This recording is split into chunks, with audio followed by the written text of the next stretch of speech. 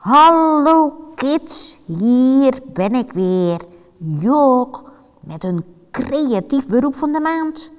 Ik ben hier in het Dordrechts Museum en heb een afspraak met Lidwien Speleers, schilderijrestaurator van dit museum. Nou, ik ga eens naar haar op zoek hoor. Ik ben dan ook heel nieuwsgierig naar haar beroep. En eh, ze zou hier in haar atelier eh, werken. Eens even kijken hoor, of ze er al is. Oh ja, ze is er al. Gauw naar binnen, kids.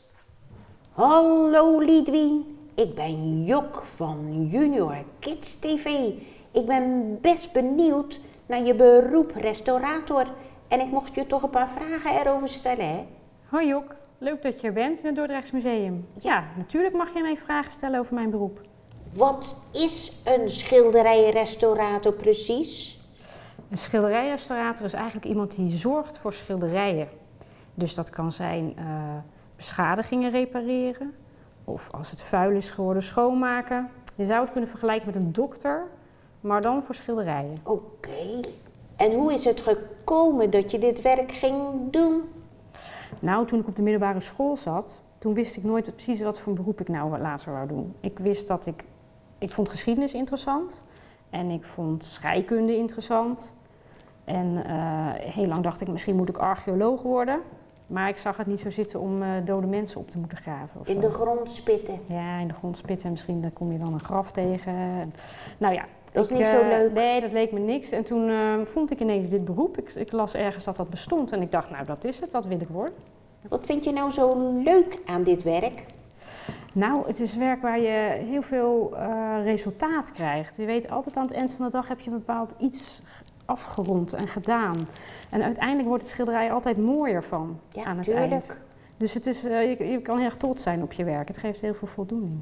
En je zit heel dicht op de kunst. Ik ben een van de weinige mensen in het museum die het schilderij mag aanraken. Met handschoentjes. Ik heb handschoentjes, ja. En ik gebruik eh, een microscoop en een loop. En dan kan ik heel goed zien wat er op het schilderij gebeurt. Oké. Maar dan zie ik dus ook heel goed hoe de schilder het gemaakt heeft. Nou, een speciale bril zeg. Ja, dat is een loopbril. Dan heb ik mijn handen vrij om te werken. Doe je dit werk al heel wat jaren? Ik doe dit werk nu 17 jaar. En ik zit vier jaar in het Dordrechts Museum. Oké. Ben je voor dit werk naar een teken- of schilderschool geweest?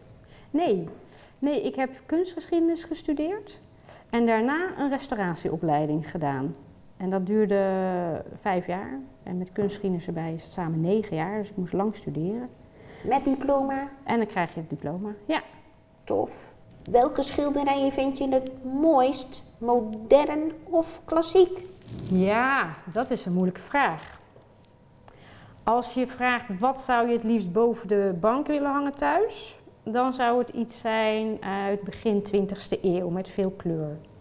Maar qua hoe is Modern. het geschilderd, ja, een beetje modern, maar niet te modern. En als je denkt hoe is het geschilderd en, en hoe mooi is het gedaan, weet je, dat zijn vaak juist die hele oude werken, die zijn heel precies gedaan. En dat vind ik heel knap van die kunstenaars. Dus, dus die vind ik ook voor mijn werk heel leuk om te restaureren, die hele oude schilderijen. Dit Dus is ook een oude. dit is een oude, ja. Heb je wel eens iets geks of iets spannends meegemaakt? En wat was dat dan? Ja, spannend is het eigenlijk altijd. Want eh, schilderijen zijn vaak veel geld waard. Maar intussen zit ik daar wel op met bijvoorbeeld een mesje. Oh jeetje, Bijvoorbeeld zo'n mesje. lijkt wel een doktersmes. Dat is ook een doktersmes. Ja. Soms moet je iets afkrabben wat op het oppervlak zit. En ik gebruik oplosmiddelen, chemische middelen. Ook dat nog? En dat is ook eng om dat op het oppervlak te gebruiken. Maar dat doen we omdat ehm, op schilderijen zit vaak een transparant laklaagje. Dat heet een vernis. En dat wordt ouder in de loop van de tijd en dan wordt het geler. Oké. En als het geel wordt, dan stoort het, dan is het schilderij niet meer zo mooi. En dan halen we het eraf en brengen we een nieuwe aan. Maar daarvoor hebben we dus chemische middelen nodig. En dat is ook hartstikke spannend. Ja, oppassen Dus- dat de verf er dan niet afgaat, hè? precies. Dus je moet altijd heel goed testen dat je materiaal kiest wat wel de vernis oplost, maar niet de verf. Mogen de kids thuis en ik eens even meekijken hoe of je werk liet wien? Ja, tuurlijk. Dan moet ik alleen even wat spullen pakken. Nou, Want- spannend. Dat vind ik spannend. Ik werk met een microscoop bij dit schilderij. Oké. En omdat ik met chemische middelen werk, heb ik ook een afzuiging nodig, zodat Oh. ik het niet allemaal inadem. Ja, want anders zou je gaan hoesten, hè? Nou ja, precies. Daar kan je allemaal enge ziektes van krijgen. Spannend hoor, kids.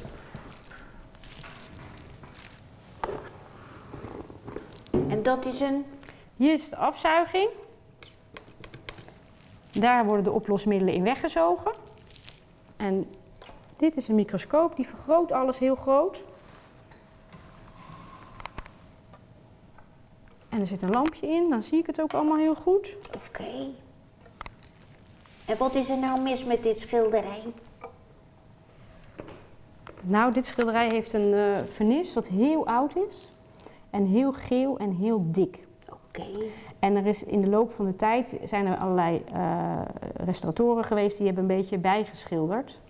En ik wil dus dat oude vernis er helemaal afhalen. En die verf die later is aangebracht.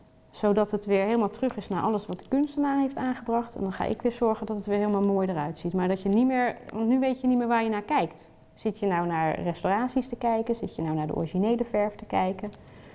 En dat vergeelde vernis geeft het hele schilderij een gelige kleur die er eigenlijk niet bij hoort. En moet je dan zelf ook nog wat schilderen?